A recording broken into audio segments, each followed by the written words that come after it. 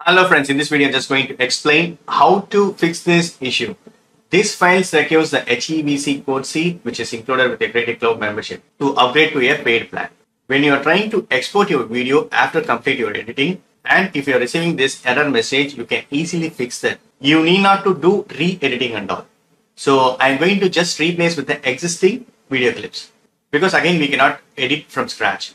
Also once you have exported you can see this black screens one of the video clip. So even right in project settings, you can see that will be in blue. I mean like a blue screen or black screen. This video clip doesn't have any data. First of all, right, the same video clip we need to convert into MP4 file. So that we can do in VLC. So what I'm going to do is open VLC media player. Here we can convert the HEVC files and go to media and then click on this convert and save. So add that video clip. We should add this video clip. You can see this blue screen.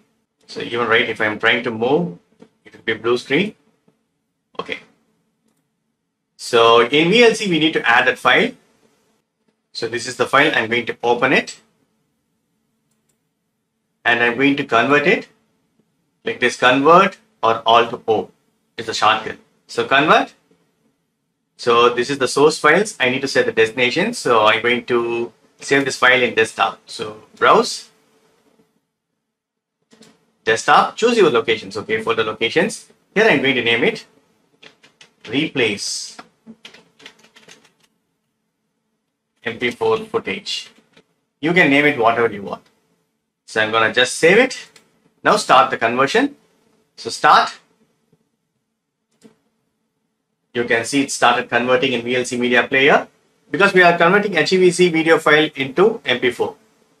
VLC media player is successfully converted and I'm going to close this VLC media player and on this desktop right you can see this replace MP4 footage which I have converted. So video file is successfully converted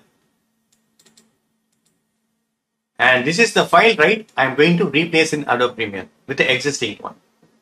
So going back to Adobe Premiere. So this is the file. So this is the actual file. I'm going to replace the footage. So this is a blue screen, right? What you need to do is on your project folder, select the video file you want to fix it. So just right click and go to replace footage. Tap on this replace footage. I have saved it in desktop so here is the footage, replace MP4 footage, select, super cool. Now it's replaced with the existing footage. So I need not to do re-edit in Adobe Premiere Pro. So automatically it will be replaced. You can see that. Super cool, right? This is the easiest way. Whenever you are having problem with HEVC or any footage, right? You can easily replace with the existing one. So now I can easily export, go to file. This time I should not be getting any error. So export and go to media. So I'm going to fixed editing file. I'm going to name it. I'm going to save it in desktop. Save it and click on export. See, this time I am not having any issues, converting smoothly.